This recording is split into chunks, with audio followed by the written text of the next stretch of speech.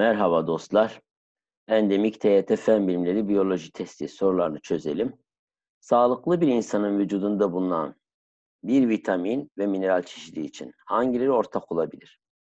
Evet, koenzim kofaktör olarak bileşik enzim yapısına katılabilirler. Doğru. Hücre solunumunda enerji kaynağı olarak kullanılmama demiş. Evet, ikisi de kullanılmaz. İkisi de enerji verici değil.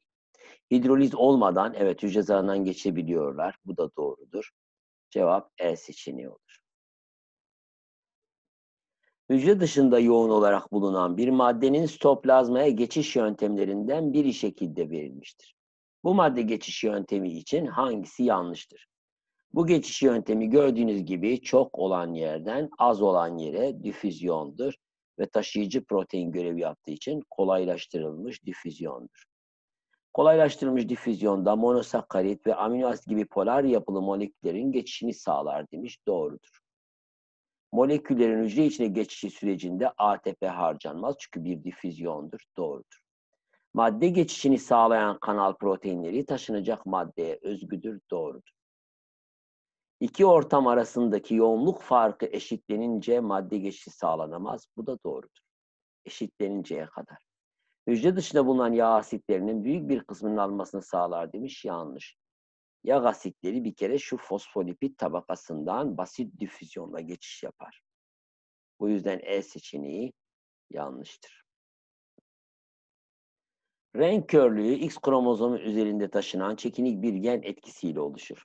Bu karakterin kalıtımı ile ilgili hangilerinin doğruluğu kesindir demiş. Renk körü bir erkek ile bu karakter için sağlıklı ve homozigot genotipli bir kadının normal kromozom sayılı erkek veya kız çocuklarının renk körü olma ihtimali yoktur.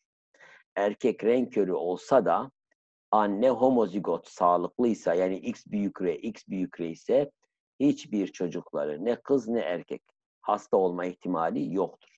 Kesinlikle doğrudur. Renk körü bir kadın ile normal görüşlü bir erkeğin normal kromozom sayılı bütün erkek çocukları renk körü olur. Çünkü erkek X'i anneden alır ve anne renk körü olduğu için tüm erkek çocukları yüzde yüz renk körü olur. Bu yüzden doğrudur. Normal kromozom sayılı kız ve erkek iki kardeşin renk körü olduğu bir ailede baba ve anne yüzde yüz renk körüdür. Evet burada erkeğin renk olması annenin taşıyıcı olduğunu gösterir. Bu geni kesin taşıdığını gösterir ama renk olduğunu göstermez. Yüzde yüz demiş olmaz. Ama kız çocuğu hastaysa baba evet baba yüzde yüz renk olur. Çünkü kız çocuğu ikisinin birini babadan birini anneden alır. Bu yüzden evet baba için yüzde yüz denilebilir ama anne için bunu söyleyemeyiz. Yanlıştır. Bir ve iki o zaman doğruluğu kesindir. Bir bakteri hücresinde kötü çevre şartlarının oluşmasına bağlı olarak ikiye bölünme sürecinde X yapısının meydana gelmesi şekilde gösterilmiştir. Bu gördüğümüz olay bir endospor. Elverişsiz koşullarda bakteriler endospor oluşturur. Buna göre normal bir bakteri hücresiyle X yapısı arasında aşağıdaki özelliklerden hangisi farklı olamaz demiş. Hücre içindeki enzimlerin çalışma hızı endospor oluşturuyorsa elverişsiz koşullarda bazal metabolizma düzeyinde yaşamını sürdürür. Bu yüzden enzimlerin çalışma hızı düşer. Doğrudur. Yani farklılık gösterir. Hücre içi ozmotik basınç, evet yoğunluğunu artırarak bunu yaptığı için endosporda ozmotik basınç yüksektir. Evet. Hücre solunum ile ATP üretim miktarı yavaştır. Endosporda yavaş olur. Hücre zarında yapılan madde alışverişi oranı endosporda uyku moduna geçtiği için o da yavaştır. Ama halkasal DNA'nın nükleotit dizilişi her ikisinde de aynıdır. Değişikliğe uğramaz. Bu yüzden B seçeneği burada doğru olamaz. Yani farklı olamaz. Azot döngüsü sürecinde biyotik azot fiksasyonu, topraktaki amonyak miktarının artırılması, nitrifikasyon ve denitrifikasyon olayları meydana gelir.